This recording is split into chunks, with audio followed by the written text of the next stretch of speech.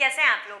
जैसे कि हम लोग बात कर रहे हैं पादप कारिकी के बारे में तो पादप कारिकी में हमारा जो लास्ट टॉपिक है एंजाइम उस एंजाइम के बारे में हम लोग स्टडी कर रहे थे और हम लोगों ने देखा कि एंजाइम है, वो एक विशिष्ट संरचना लिए होता है, एक विशिष्ट प्रकृति लिए हुए होता है, हम बोलते हैं कि प्रोटीन प्रकृति का बना होता है।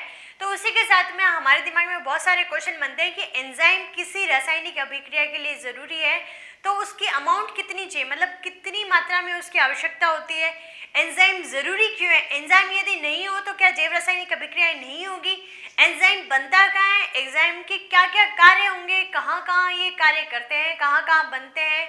और किस तरह से ये अभिक्रिया में उस अभिकारक से जुड़ते हैं? तो इस तरह से बहुत सारे जो क्वेश्चन हैं, उन्हीं क्वेश्चंस को सॉल्व करने के लिए आज का वीडियो मैंने बनाया है। वो क्या है? एंजाइम क्रिया की विधि। हम नॉर्मली किसी चीज़ के बारे में बात करते हैं तो वो क्या होती है? क्रिया विधि होती है। लेकिन यहाँ क्या है? एंजाइम क्रिया की विधि कि एंजाइम किस तरह से क्रिया करता है किसी भी अभिक्रिया के अंदर। तो यहाँ पे आप देखिए कि एंजाइम बहुत ही कम मात्रा में आवश्यकता होता है। मतलब कि एंजाइम की बहुत ही कम मात्रा है, वो रिक्वायर्ड होती है। ठीक है? किसी में, में ऐसे नहीं कि बहुत हाँ बोरी भर भर के डाल दिया ठीक है? जैसे अभी एकदम जो मैं बोल रही हूँ ना एंजाइम की कम मात्रा है उसी तरह से बहुत ही कम मात्रा में क्या आ रहे हैं? व्यूज़ आ रहे हैं। क्योंकि अभी क्या चल रही है? शादियों की सीज़न चल रही है। तो शादियों की सीज़न में क्या होता है? सबका मस्ती वाला मूड होता है। किसी को टेंशन नहीं है कि बोर्ड एग्ज़ाम है बोर्ड एग्ज़ाम होंगे नहीं होंगे क्योंकि ना स्कूलों का आता पता ना कोई बोर्ड एग्ज़ाम का आता पता। तो सारे अपनी मस्ती में सिर्फ़ शादियों में लगे हुए हैं भर भर के मस्त मिठाइयाँ हैं, वो खा रहे हैं, ठीक है? तो थोड़ी बहुत टेंशन है, वो भी रखिए, आप लोग पढ़ाई है उसको भी कंटिन्यू रखिए। शादियाँ आप लोग भी इंजॉय कर रहे हैं, शादियाँ हम लोग भी इंजॉय कर रहे हैं। लेकिन मैं मेरी ड्यूटी कंप्लीट कर रही हूँ, आप भी अपनी ड्यूटी है वो अच्छे से निभाएँ।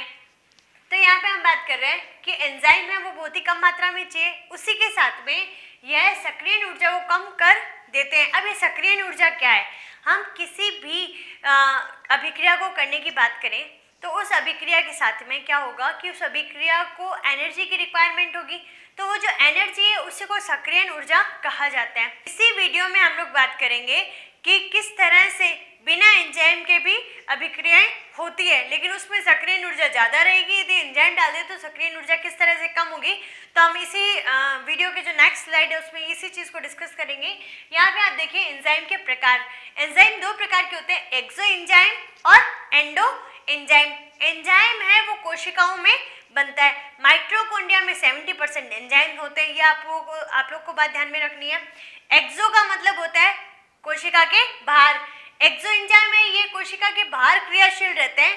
पाचन एंजाइम और पैप्सिन इसके एग्ज़ाम्पल रहेंगे। उसी के साथ में हम बात करें एंडो एंजाइम की तो एंडो एंजाइम का मतलब होता है कि कोशिका के अंदर कार्य करते हैं। तो कोशिका के अंदर कार्य करेंगे तो यहाँ पे श्वसन एंजाइम इसका एग्ज़ाम्पल रहेगा। अब हम लोग जो क्रिया विधि की बात कर रहे हैं तो क्रिया विधि में हमें ये देखना है।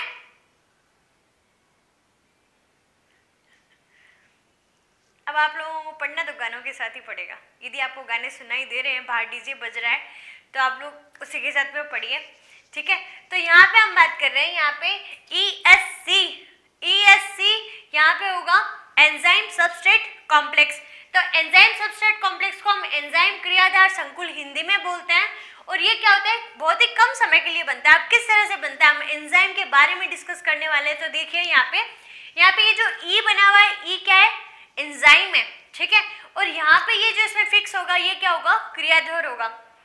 दो येलो में अलग पोर्शन है, और ये पूरा अलग पोर्शन है। ये एक जटिल कॉम्प्लेक्स है। इसको क्या करना है? तोड़ना है सिंपल बनाना है। तो इस कॉम्प्लेक्स स्ट्रक्चर को जो सिंपल बनाएँगे तो इसके लिए हमें एंजाइम की ज़रूरत होने वाली है, ठीक है? ये इसके अंदर फिक्स हो जाएगा। फिक्स होने के बाद में इसको क्या कहेंगे? एंजाइम सबस्ट्रेट कॉम्प्लेक्स और ये एंजाइम सबस्ट्रेट कॉम्प्लेक्स है, वो हमने कहा कि बहुत ही कम समय के लिए बनता है और अस्थायी होता है। स्थायी नहीं है कि भाई ये बन गया तो ये ऐसे कैसे यहाँ पे बना हुआ रहेगा? ये अस्थायी है। और फिर आगे क्या हो जाएगा? एंजाइम अब फ्री हो जाएगा। ऐसे नहीं है कि भाई मैंने सिर्फ़ एक बार काम करना था, अब मेरे को किसी जटिल को, जटिल स्ट्रक्चर को तोड़ने के लिए दे दिया ना तो देख लेना। ऐसा कुछ भी नहीं है। वो अपना काम है, वो जारी रखेगा, क्योंकि हम लोग भी तो मिठाइयाँ खानी जारी रख रहे हैं ना। हम लोग भी तो जटिल चीज़ें हैं, वो खा रहे हैं, उनको सरल चीज़ों में तोड़ना है ना। ठीक है? तो ये अपना काम है, वो कंटिन्यूसली बना के रखेगा। तो ये क्या है? मुक्त एंजाइम ठीक है? बाद में ये क्या हो जाएगा? फ्री हो जाएगा। और इसने प्रोडक्ट को तीन अलग भाग में तोड़ दिया। तो ये क्या है यहाँ पे? उत्पाद है। यदि ये चीज़ आपको समझ में आ जाएगी, ये चीज़ समझ में आ गई तो आपको आगे की जो मैं तीन थ्योरीज पढ़ाने वाली हूँ, वो आपको इजीली समझ में आ जाएगी। तो ये आप थ्योरी में आप देखेंगे कि ये वाले जो दो ब्रैकेट बने हुए हैं पॉकेट बने हुए हैं, जिस पॉकेट में सबस्ट्रेट सबस्ट्रेट है, वो अंदर जा रहा है। उनको क्या कहा जाता है? तो उनको कहा जाता है सक्रिय स्तर और कल मैंने आपको जब एंजाइम की संरचना बताई थी तो एंजाइम की संरचना में मैंने कहा था कि यहाँ पे एपो एंजाइम जो हम होलो एंजाइम पूर्ण एंजाइम की बात कर थे, कि एक तो होगा एपो एंजाइम और एक होगा संयुग्मित एंजाइम जहाँ एपो एंजाइम के बारे में बात करें तो एपो एंजाइम में प्रोटीन स्थल था, ठीक है?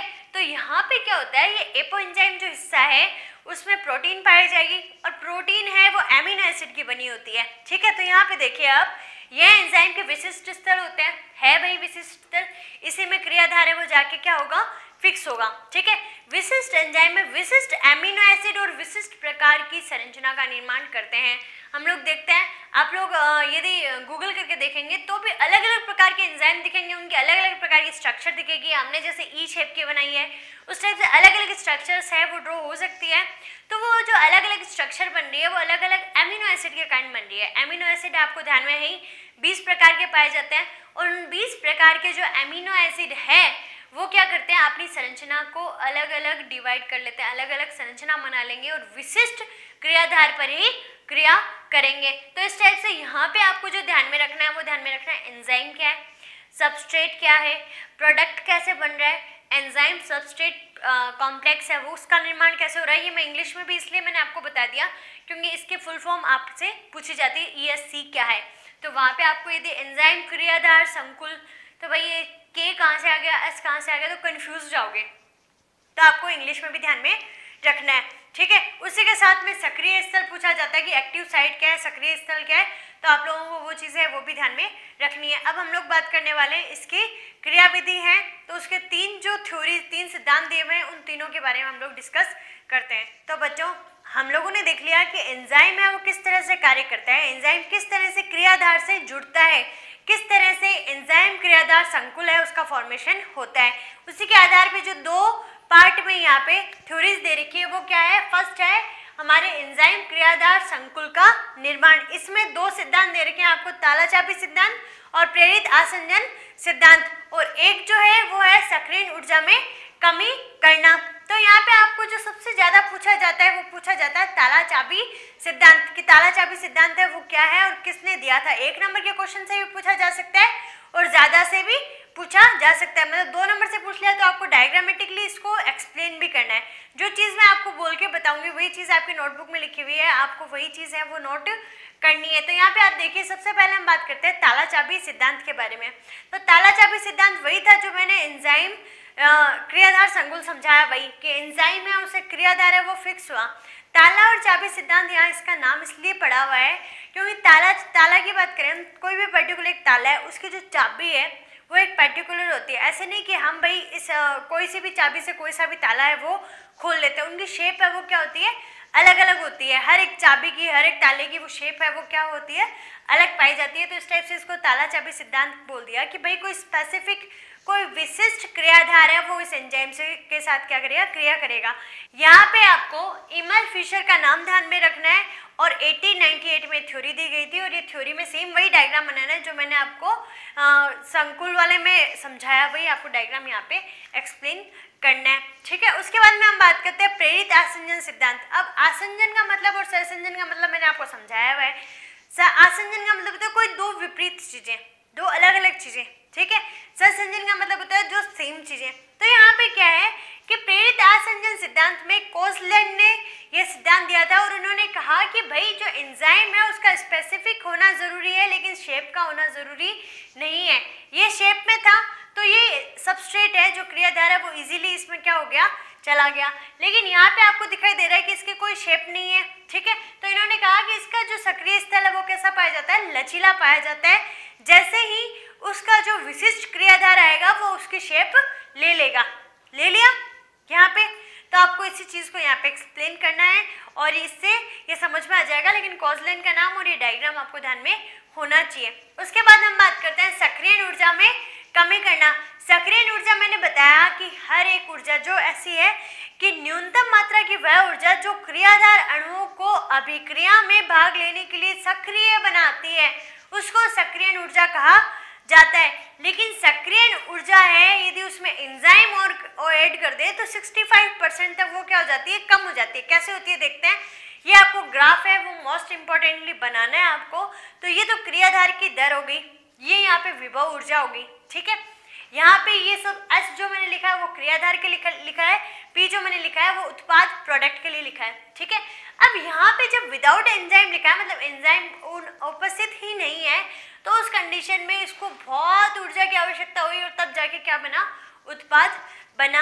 लेकिन हम बात करें कि एंजाइम हम और जोड़ दें तो एंजाइम जोड़ दिया तो भाई ये ले, जल्दी से हो गया। तो यहाँ पे ये जो प्रोसेस फास्टली हुई है विद एंजाइम हुई है तो उसमें क्या हुआ? सक्रिय ऊर्जा है, वो 65 परसेंट क्या हो गई? कम हो गई। तो आपको इस टाइप से ये है सक्रिय ऊर्जा में कमी करना और यहाँ पे ये जो ताला चापी सिद्धांत और प्रेरित आसंजन सिद्धांत है, उसको आपको अच्छे से पढ़ना है। एक बार आप इसकी क्यों मैंने थ्योरी ज़्यादा नहीं लिखी है तो थ्योरी आप नोटबुक में पढ़े, आपके बुक में दी हुई है, वो आप लोग पढ़ सकते हैं, आपको इजीली समझ में आ जाएगी। यदि किसी तरह का भी कोई डाउट आपको आता है तो आप मेरे को व्हाट्सअप नंबर पे या मेरे जो कमेंट सेशन है, यहाँ पे आप मेरे को बता सकते हैं, मैं आपका आंसर है वो ज़रूर करूँगी। मैं हर एक जो कमेंट होता है, उसका रिप्लाई करती हूँ। तो आप मेरे को कोई भी डाउट हो तो वो मेरे को आप बेहिजक पूछ सकते हैं। हिंदी, इंग्लिश दोनों में वीडियोस है, वो अलग अलग अवेलेबल है बोर्ड इमेजेस क्योंकि ये जो प्लांट फिजियोलॉजी चला है, इसमें अलग से कोई नोट्स की आवश्यकता नहीं होती। जितना आपकी बुक में देर का सफिशियंट है तो मैं आपको सिर्फ़ बोर्ड इमेजेस है, वो आपको प्रोवाइड करवानी हूँ। टेलीग्राम पे टेलीग्राम पे आपका चैनल है, वो सब्सक्राइब कर सकते हैं। और यहाँ पे जो भी आपके हिंदी मीडियम और स्टूडेंट्स हैं, उनको आप शेयर कर सकते हैं वीडियोज़ क्योंकि proper Hindi video Hindi medium में वीडियोज़ नहीं मिलते। और अब यहाँ पे इंजाइम से रिलेटेड हमारे सिर्फ़ नामकरण का एक टॉपिक रहा है, उसके बाद में ये चैप्टर हमारा कंप्लीट हो जाएगा। तो खुश रहिए, मुस्कुराते रहिए और घर पे सुरक्षित रहिए। Thank you